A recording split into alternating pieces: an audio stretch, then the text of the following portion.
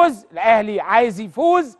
هي قمة مصرية هي الأكبر هي الأهم الأكثر مشاهدة. فاز الزمالك مش مهم تلعب المهم تكسب.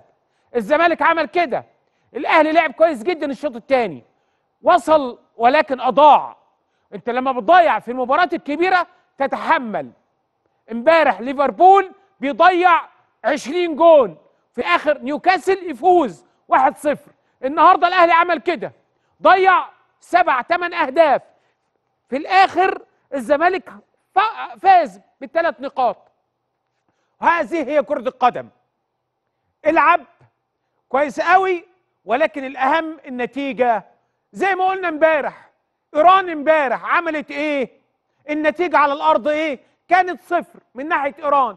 ال- لكن النتيجة دلوقتي الزمالك هو الذي حصد الثلاث نقاط.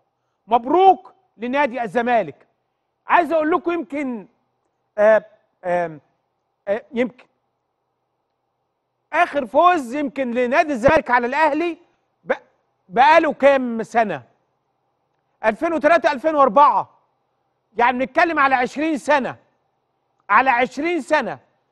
في الدور الأولاني بجون تقريبا جمال حمزة. أعتقد يعني. فإحنا بنتكلم من 20 سنة الفوز ده.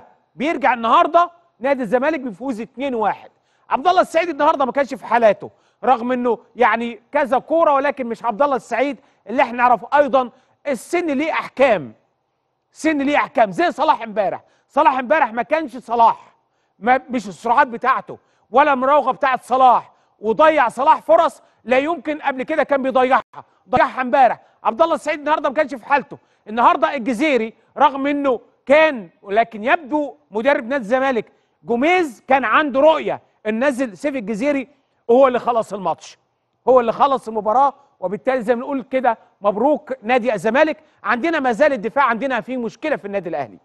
دفاع الأهلي هناك مشكلة